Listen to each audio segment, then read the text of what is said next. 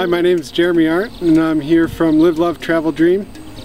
Uh, today we're going to talk a little bit about the vegetable oil system on our bus, Two Birds here. So we've converted this big Bluebird bus to run off of recycled vegetable oil from restaurants. So while we're on tour we can collect the oil from the restaurant's waste bin and we can process it on board and then we can turn it into fuel that will take us around the country. We partnered up with WVO Designs for the major components for the vegetable oil conversion and also our filtering equipment. And uh, then I found a design on the internet for a Dodge truck with the Cummins engine, which is the same engine that we have in our bus. It's a Cummins 5.9. And I adapted that schematic to uh, fit the needs of our bus.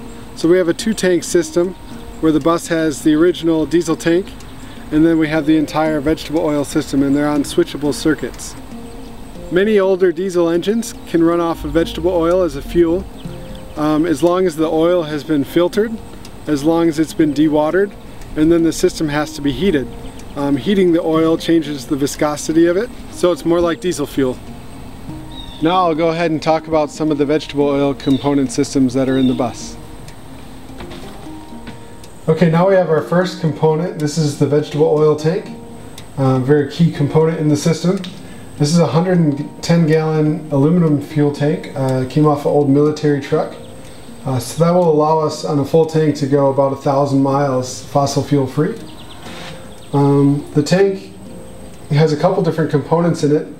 The first we have, this is the WVO Designs raw power hot stick. This is a very crucial component in the system. Um, first of all, it allows the coolant from the engine to come in through here and it heats the, the hot stick and that goes down into the tank and then the coolant leaves to go back to the engine. But when it's in the tank, it's heating the oil around the hot stick in, inside the tank. And then also, as the oil comes up into the fuel hose, it's heating it. That's the first step in heating our system. Also, we have just an inline filter here to make sure that anything that might have slipped by um, our filtering system and gotten into the tank doesn't go into our lines to make them clogged. Um, also, we have a Schrader valve here this is just something that we added to allow us to pressurize the tank. If you run out of fuel with a diesel, it can be often difficult to prime the engine. So that way we can just connect an air compressor and we can pressurize the tank. It'll force the fuel towards the engine and it'll eliminate any air pockets in the line. This isn't our final system in the bus. Um, this is just the early stages of construction. It allows us to use uh, the vegetable oil system. Right now we're filtering uh, the oil in the shed, uh, which you'll see later. But when the bus is finished, we'll be able to fi filter the vegetable oil right on board. So we'll have an additional tank up here. That'll be where the dirty oil goes, and then this is the clean oil tank. And then we'll have the centrifuge right here. You'll see the centrifuge later on. And then that'll allow us to drive up to a restaurant. Uh, we can pull out our uh, vegetable oil pump and we can pump the fuel right into the tank, filter it on board, and head on down the road. So as the vegetable oil leaves the fuel tank, it goes up and underneath the bus to the next component. And this next component I really, really like. It was a hard component for me to wrap my mind around at first because I had never seen anything like it. But it's called a tube and hose system and it basically allows the uh, vegetable oil to travel through a heated hose as it goes up to the front of the bus where the engine is.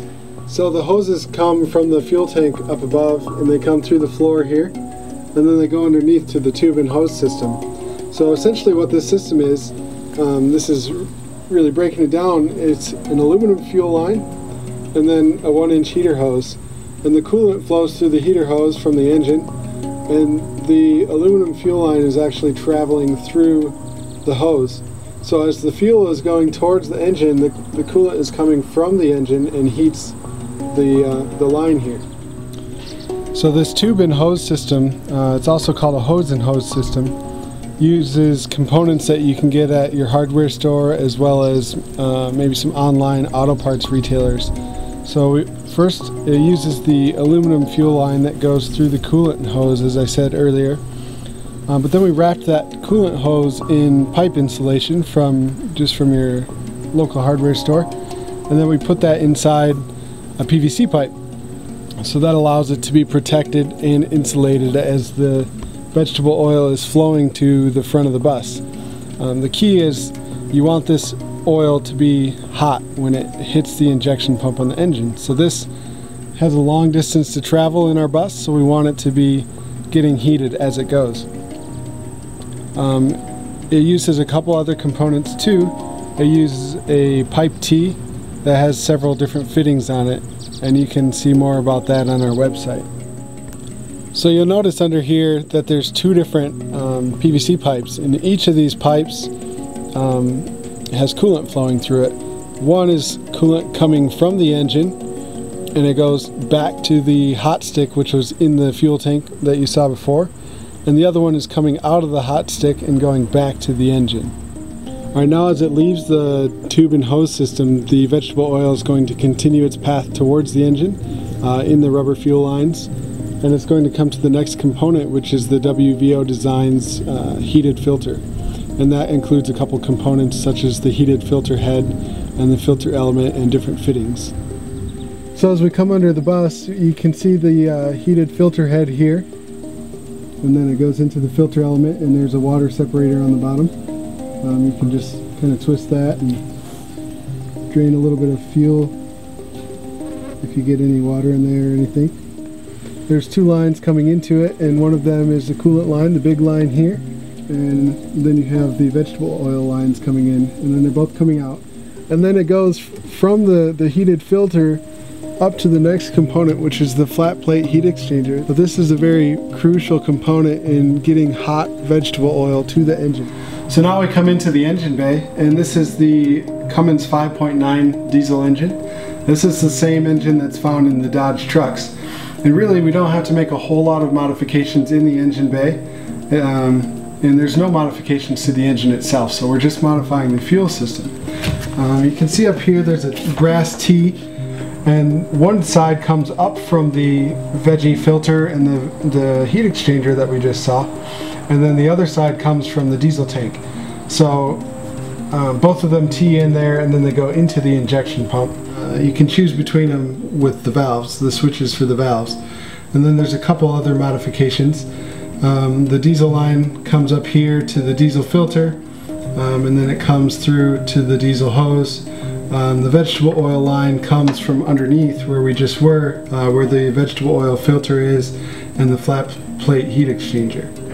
So here we have the valves where we choose uh, between the diesel system and the veggie oil system. A lot of uh, vegetable oil systems will use electronic valves. We chose manual valves because we felt that in the long run they would be more reliable and you just you can't really mess go wrong with uh, a manual valve as long as you don't switch it wrong. So the first valve here is the tank valve. This allows us to choose either the diesel tank or the vegetable oil tank. The second is the filter valve. This allows us to choose the diesel filter, which is in here in the engine bay, or the vegetable oil filter, which is underneath.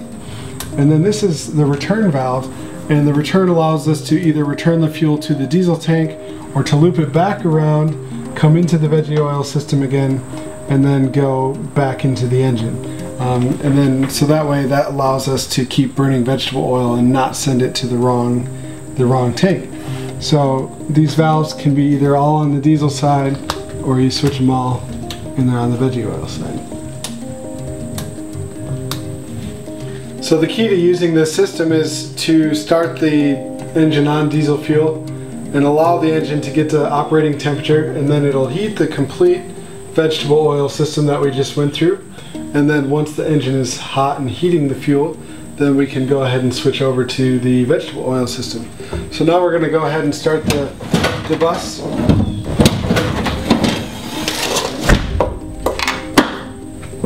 And we'll let it warm up and then we'll go for a little ride on vegetable oil.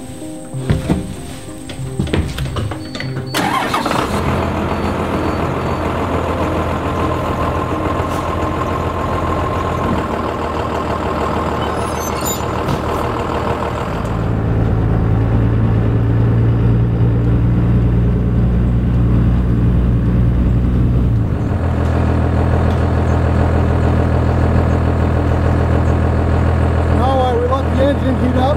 we'll go ahead and go into the shed and we'll talk about the filtering setup. So now I just want to show you quickly before we head into the shed our pump setup. This is our uh, what we use to move the vegetable oil into the bus or into the shed for our filtering setup. It's just a Honda engine and it uses WVO Designs components uh, mated to their Goldstream pump and that pump head pumps 25 gallons per minute so we can move that vegetable oil pretty fast. So come on in. Okay, so now we're in the shed and we're going to talk about our centrifuge, which is the heart of our filtration system. Um, the centrifuge allows us to turn recycled oil or waste oil from a restaurant into fuel quality. And um, so what this does is there's a, a barrel up here and we open the valve of this barrel and that allows the vegetable oil to just feed down with gravity through here and it comes into the bolt-on heater. This is available from WVO Designs and then it goes into their um, raw power centrifuge. So this centrifuge, it spins the oil um, at such high rates that it, it separates the particles that might be in the present in the oil and the water that might be present um, from the oil to leave you with a pure um, fuel quality oil. So the clean oil comes out here, it goes into our clean barrel, and when you're all done and you turn it off, the waste oil comes um, and, and, empties into the dirty barrel. Now we're going to go ahead and go for a drive. The engine's all heated up. We'll switch it to veggie oil just up here up the road.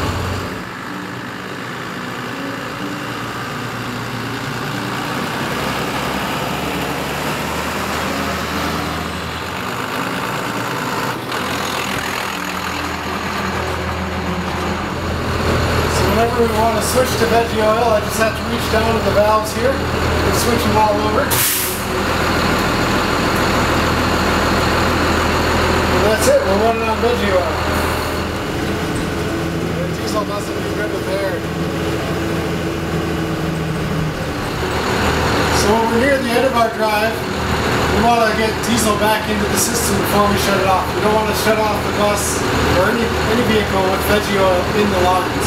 So we're going to switch back to the diesel system to run a purge, and then when we get home, we'll, we'll turn it off and we'll be good to go.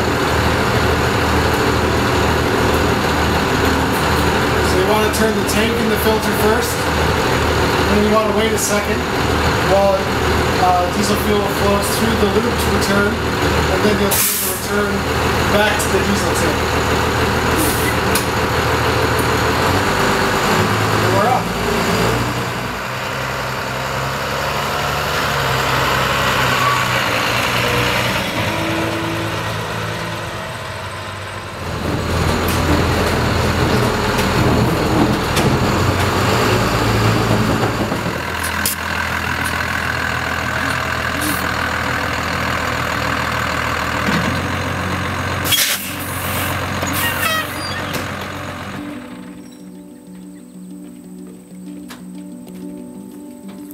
That's it. That's the veggie oil conversion in uh, Two Birds, our 1992 Bluebird bus. Uh, we're Live, Love, Travel, Dream, and we're really grateful to WVO Designs for sponsoring us with the components to make this happen. And uh, I really think that this is a project that anybody with a basic mechanical knowledge could uh, accomplish.